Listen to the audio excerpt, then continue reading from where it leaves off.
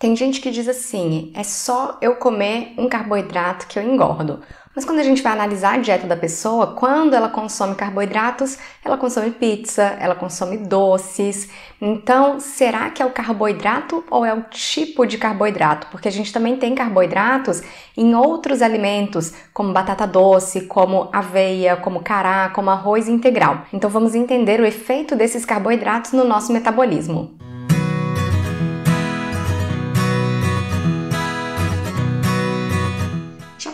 Falar de carboidratos no vídeo anterior, mas será mesmo que temos que ter essa preocupação toda com carboidrato? Será que o problema é o carboidrato ou é o tipo de carboidrato que você está consumindo?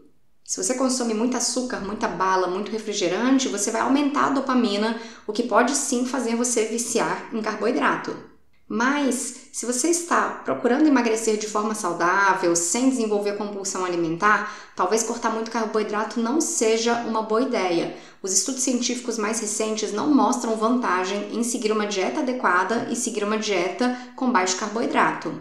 Até porque com um pouco mais de carboidrato na dieta, você tem mais energia facilmente disponível para o seu sistema nervoso. Isso melhora a qualidade do sono, melhora a produção de GH, melhora a produção de testosterona, melhora o ganho de massa muscular, melhora a recuperação após um dia. Então, Procure inserir carboidratos saudáveis na sua dieta, como batata, batata doce, batata baroa, inhame, arroz integral, milho, aveia, feijão, legumes, hortaliças, frutas. Não fique morrendo de medo de comer uma banana, uma manga, uma melancia, uma abóbora, uma beterraba. Não são esses carboidratos que vão estragar a sua dieta. Fontes de carboidratos também são fontes de fibras, de vitaminas, de antioxidantes, que vão deixar sua pele mais bonita, seu cabelo mais bonito, suas unhas mais bonitas, vão manter o seu intestino funcionando bem. Isso é essencial para você ter bom humor, para você ter um bom desempenho nos estudos, um bom desempenho no trabalho.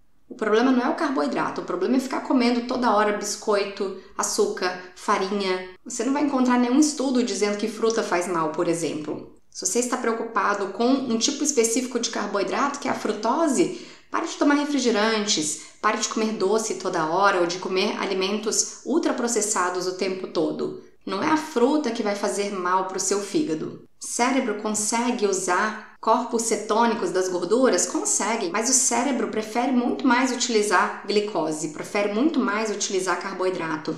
E o cérebro é um órgão que não para. Você está dormindo, o cérebro está controlando tudo. E ele é como um carro maravilhoso. Se você tem um carro caro e dá um combustível ótimo para esse carro, esse carro vai funcionar muito melhor. Se você tem um carro caro, mas você coloca combustível ruim nesse carro, rapidamente ele vai começar a ter um desempenho menor do que o esperado. Se você pega os carros de Fórmula 1, para eles terem aquele desempenho ótimo, eles têm que ter um combustível ótimo, um pneu ótimo, não basta ter o carro. O carro é importante, mas não é tudo. A mesma coisa é o nosso cérebro. Ele funciona com corpos cetônicos? Funciona, mas se você der glicose, que é o combustível ótimo dele, melhor ainda.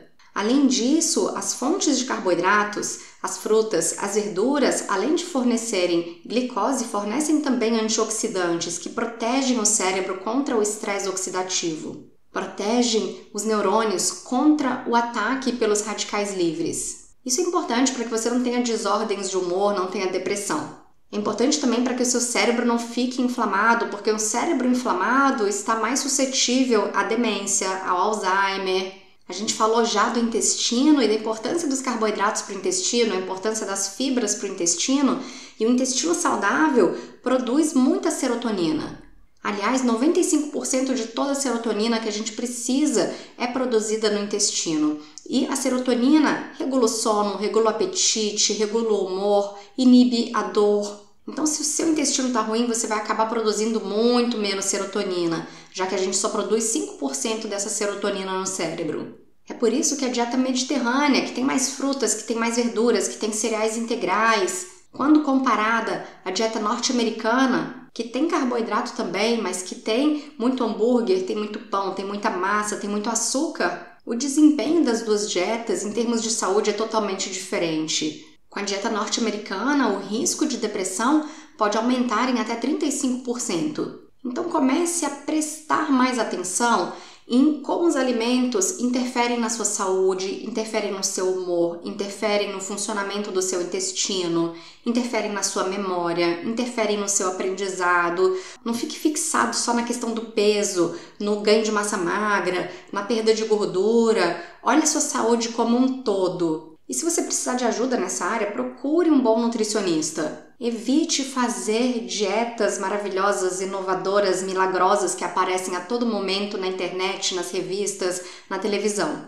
Observe-se, veja como seu corpo responde a cada coisa que você come. E você vai perceber que quando você está comendo mais frutas e mais verduras, o seu corpo funciona muito melhor do que quando você corta todo o carboidrato da sua vida.